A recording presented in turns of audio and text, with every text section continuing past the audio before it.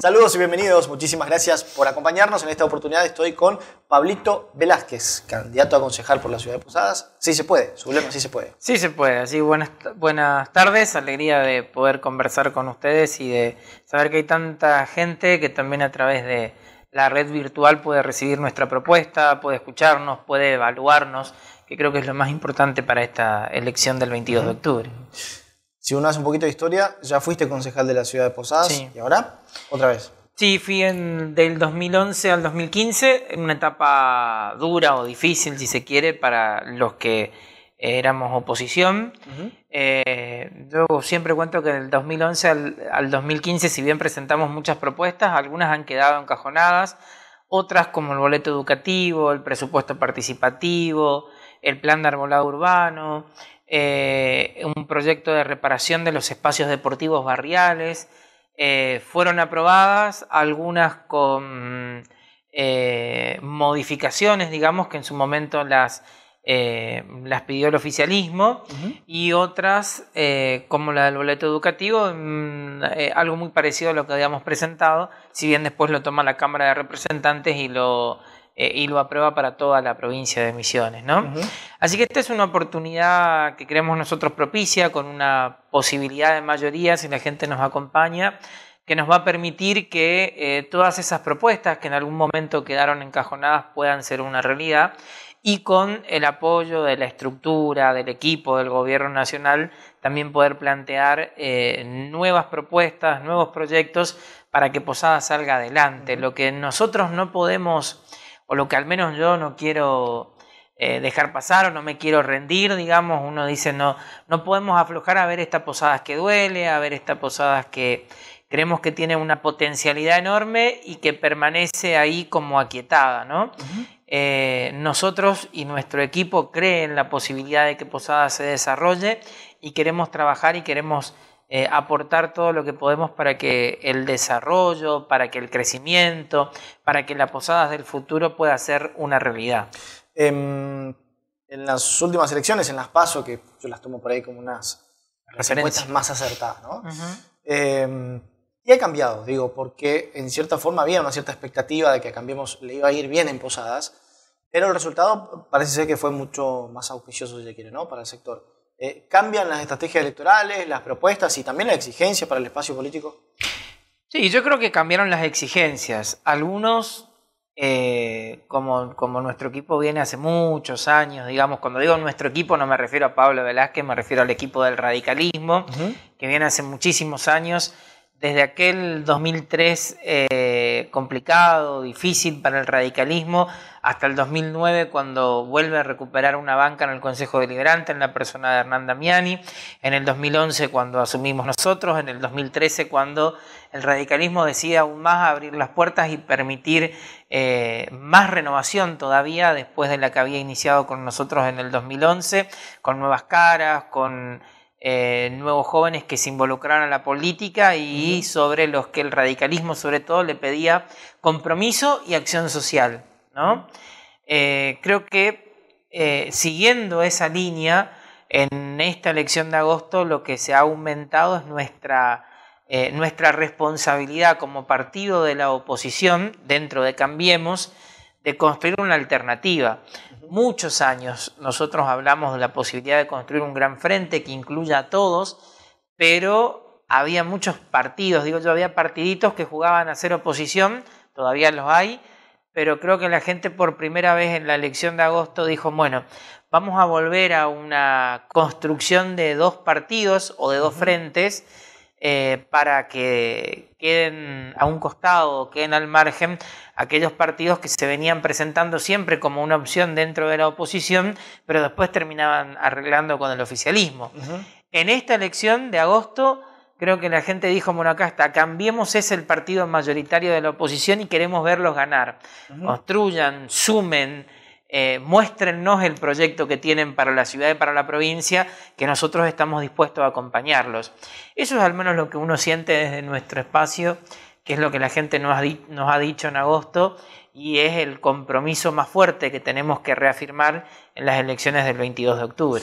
Em, si uno habla de Posadas, en algunos aspectos analizan de que hay una gran influencia de lo que es la política nacional, y de lo que son los medios nacionales, ¿no? Una gran influencia en sectores importantes como Posadas sobre además, ¿no?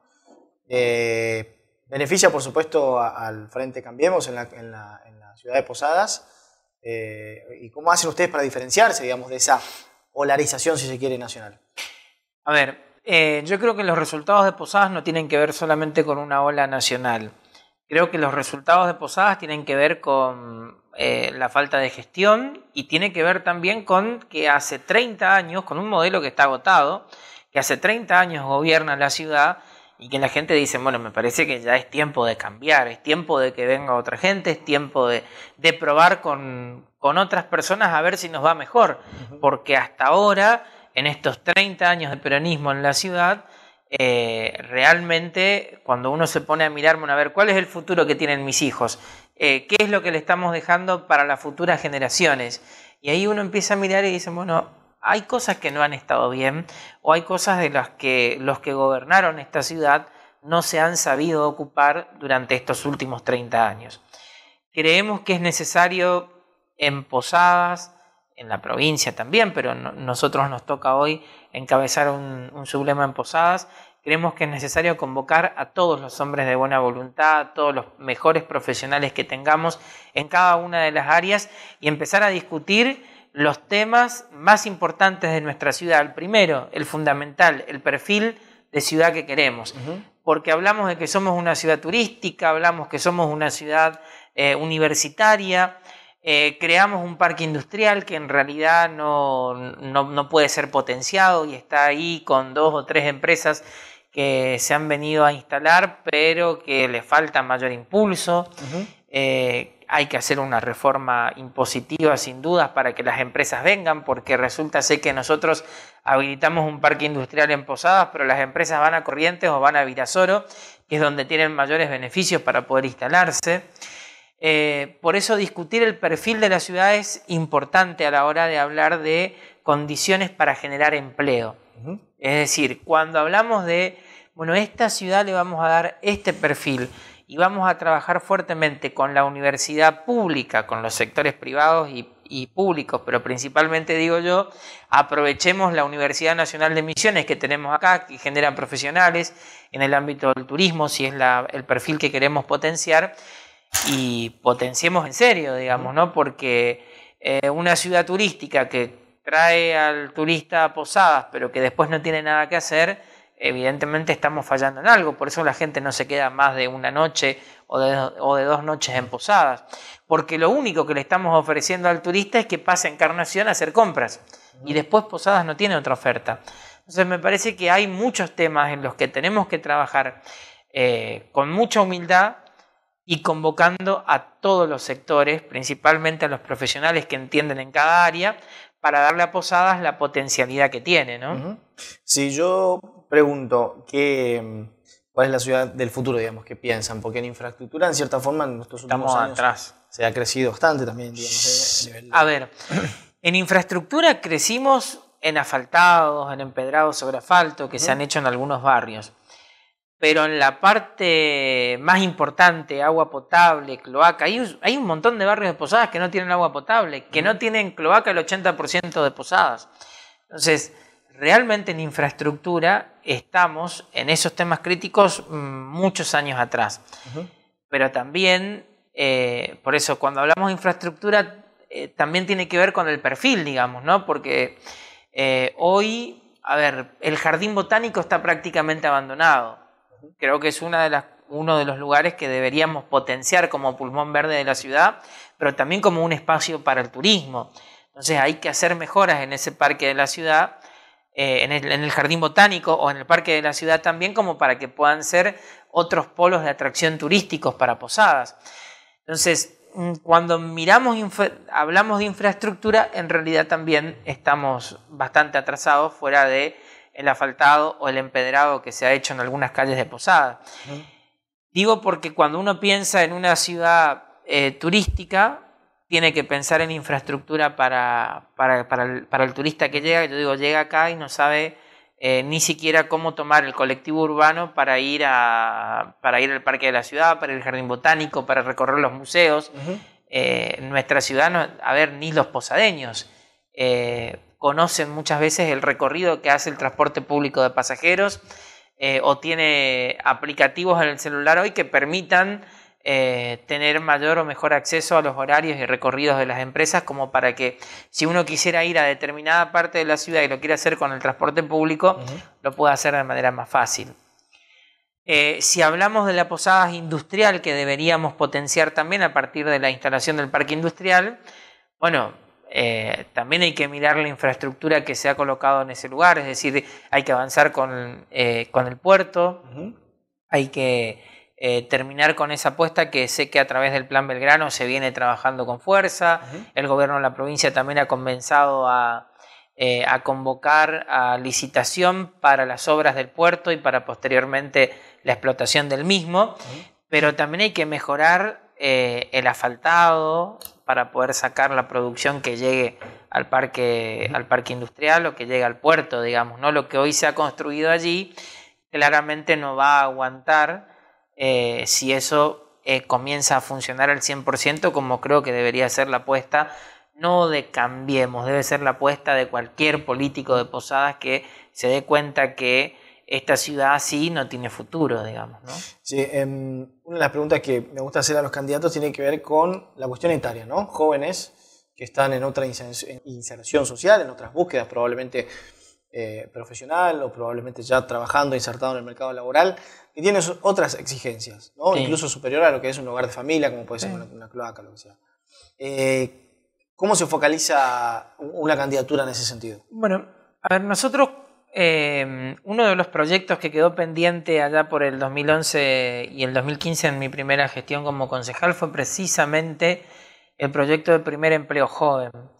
fue una propuesta eh, que presentamos en el Consejo Deliberante que nunca pudo ser aprobado y que tenía el, eh, tenía el ojo puesto, digamos, en los profesionales que se reciben en nuestra ciudad y en una modificación en lo que es la Secretaría o la Oficina de Empleo Municipal. Hoy a eso creo que hay que agregarle una innumerable cantidad de planes de formación de empleo que tiene el Gobierno Nacional y que creo que van a posibilitar a que acompañado a la discusión del perfil de ciudad, empecemos a eh, trabajar en que la oficina de empleo municipal tenga una conexión más fluida con las universidades y con los profesionales que se reciben en nuestra ciudad, para que sea también eh, no el negocio de algunos privados que hoy se encargan de ubicar eh, personas, sino la posibilidad de que sea el propio municipio el que pueda canalizar las propuestas de empleo o las necesidades de empleo de los comerciantes, empresarios o de las áreas. Digamos, hoy por ejemplo hacen falta programadores a veces para empresas que son eh, programadores que trabajan de forma privada eh, y que a veces cuando uno los busca no sabe muy bien dónde encontrarlos. Entonces creo que la oficina municipal tiene que ser un punto de encuentro para eh, que los profesionales puedan referenciarse y también las empresas eh, o, los o los comercios ¿no? que necesiten tomar eh, profesionales especializados en cada área. ¿no? Por último, em, es, digo yo. Junto con eso, nosotros también habíamos hablado en aquel momento de crear la Escuela Municipal de Oficios. Es muy importante porque en nuestros barrios los jóvenes terminan muchas veces en la droga y sin futuro. Eh, pudiendo tener una escuela municipal de oficio que funcione en las delegaciones que les enseñe plomero, eh, hacer plomeros, gasistas, electricistas, que también faltan en nuestra ciudad.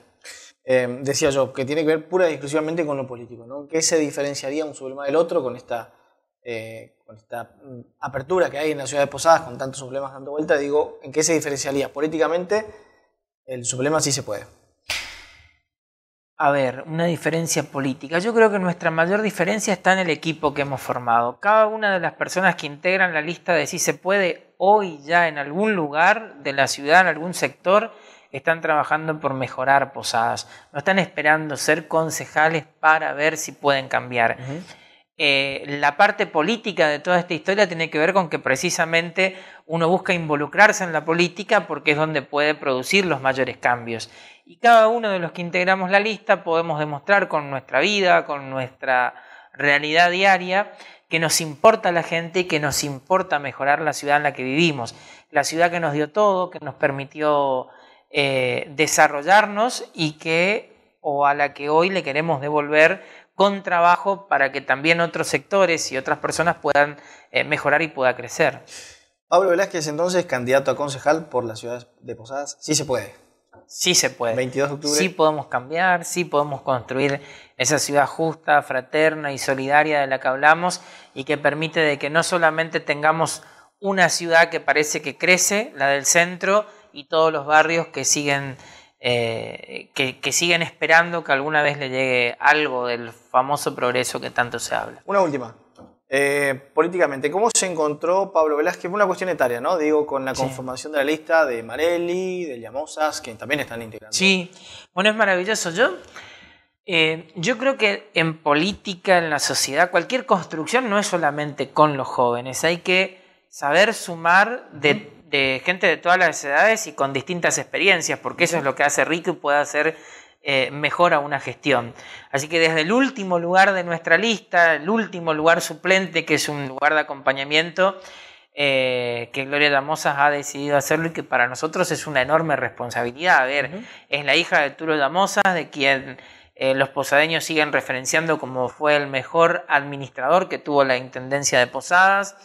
Eh, es una mujer que ha luchado eh, contra viento y marea, contra la corrupción, ha demostrado tener honestidad en el ejercicio de la función pública, entonces que Gloria nos esté acompañando en la lista realmente es una enorme responsabilidad porque hay principios y valores que tenemos la obligación de cuidar y de preservar y de representar también en nuestra gestión en el Consejo Deliberante.